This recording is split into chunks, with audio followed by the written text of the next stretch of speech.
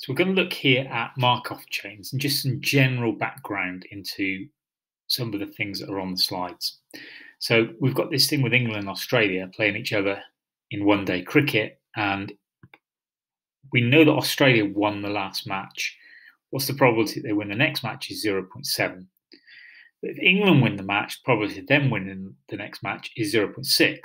Now, we actually know Australia already won the match, but we're going to set up a tree diagram to begin with. So we just chat through this tree diagram.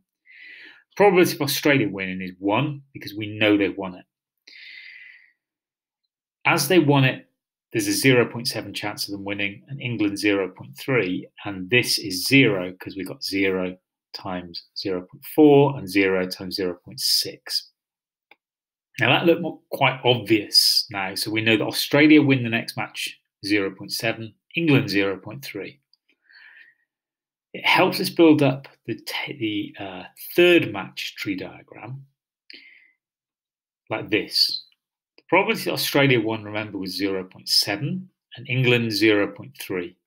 Because Australia won, they have a 0.7 chance of winning, a 0.3 chance of losing. So this probability here are these two times together.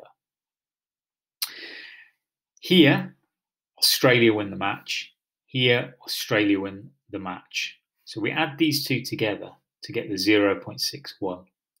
The chance of England winning the match is 0.21 and 0.18. So again, I got these by multiplying those two probabilities. Now we can keep going. So we can do match four and match five and keep producing these tree diagrams, but as it says here, it's very tedious. So we set up a Markov chain. Now for this, we have the initial, the initial state matrix, which is given here, which was this one with probability of Australia winning the match, and this is the probability of England winning the match. Now this we actually knew happened. Australia won, England didn't. Down here, we put the probability of Australia winning the next game, 0.7, and England winning 0.3. Probability here of Australia winning is 0.4. and these and England winning 0.6 and 0.3. So let's just carry on have a look at the next one. To take the match two, which is state one, we take the transition matrix, which is this thing here, and we times it by S1. So if we look at this, the probability of Australia winning the next game, remember, was 0.7, and England winning was 0.3. So we get that from multiplying this one by this one, and this one by this one. Seems straightforward, but if we carry that on to the third match, the one we produced the tree diagram for, now S2 is the transition matrix. So it's the same matrix here, T, but this time we times it by the state here.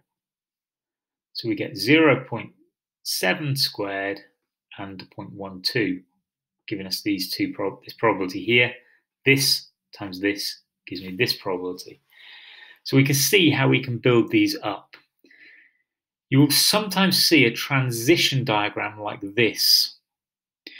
So what happens here is Australia win. To win again, so this bounces back into Australia winning 0.7. If Australia win and then England win, 0.3. So these two add up to 1.